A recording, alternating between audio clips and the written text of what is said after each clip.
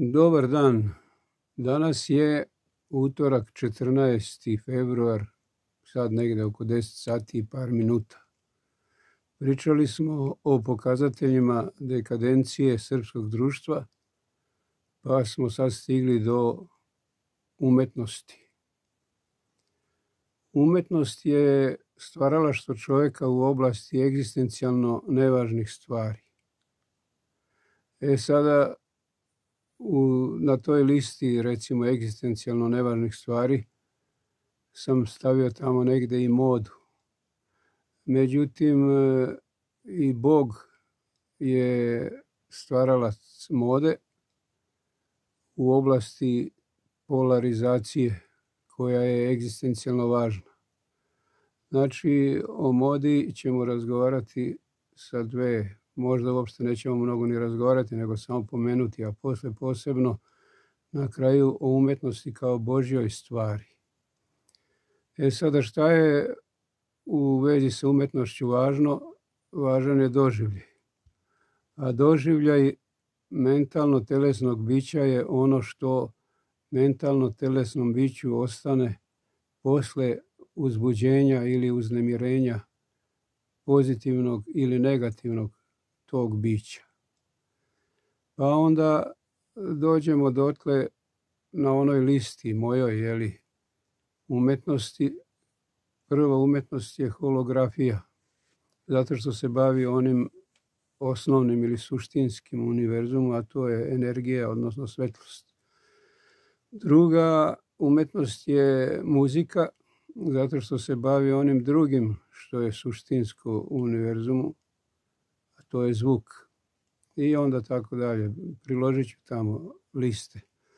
Stvaralaštvo tog, da kažemo, egzistencijalno nevažnog postoji u dve sfere. U sferi stvaralaštva sa materijalima, na materijalima, dakle.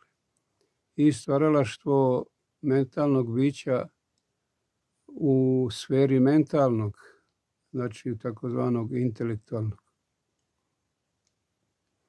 E, mi vidimo, ako se bavimo e, stvaralaštvom materijalima, utiču mnogo na stanje u društvu.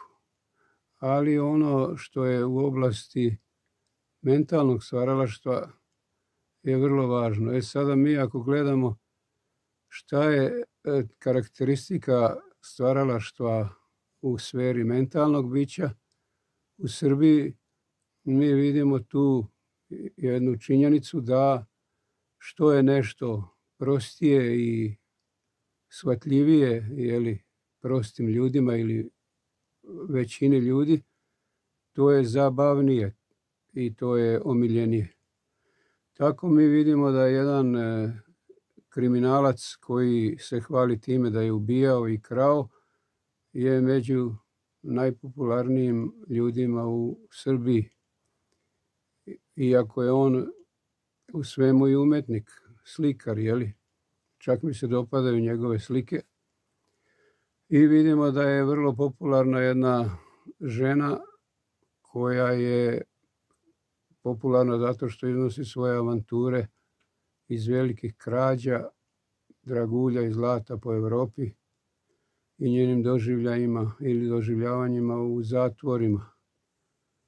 I onda vidimo da u tim jednostavnim stvarima koje uveseljavaju narod Srbije su, da kažemo, glumci koji oponašaju svakodnevni život i koji oponašaju poznate ličnosti iz politike prvenstveno, jer koga zanima recimo neka smotanost nekog naučnika kao smotanost premijerke Srbije ili koga zanimaju grimase i gluposti nekog e, čovjeka, zemljoradnika kao gluposti predsjednika države. Pozorište i film su također omiljeni e, kao karikiranja, e, da kažemo, struktura, vladajućih struktura ili upravljačkih struktura društva, od direktora pa do koje kakvih vladara i tako dalje. Mada i to se ljudima čini zabavnim kad je recimo protkano svakodnevnim jezikom i čak i ponašanjem. Recimo Radovan III je nekad bio vrlo afektivan i to se dopadalo ljudima pa su Radovana III posjećivali i takozvani intelektualci po nekim diplomama i, i školskom stupnju obrazovanja. Jel? E sada, kako je Bog e, umetnik? Ako mi pogledamo modu kao egzistencijalno nevažnu stvar u ljudskom, u životu ljudi, to ne možemo reći da je lepota tela nevažna u životinskom svetu. I ako mi pogledamo ptice, mnogo raznih i mnogo lepo ukrašenih, možemo reći da ona perija i one boje i lepote ili kod riba ili griva kod lava i šta ja znam šta još koje boje i šare egzistencijalno nisu važne, ali su važne u odnosima među polovima u vrstama živih bića. Sad, da li je to važno u odnosima u cveću, ja kod cveća ne primećujem šta je muško i žensko, ali među životinjama se primećuje muško i žensko po tim nekim drugčijim, da kažemo, odelima ili perijima i ukrasima. Tako da mi možemo reći da je Bog umetnik u smislu, ako bismo gledali, da je nevažno, ali suština u univerzum je to da polarizacija na muško i žensko u životinskom svetu i u biljnom i na pozitivno i negativno na mineralima.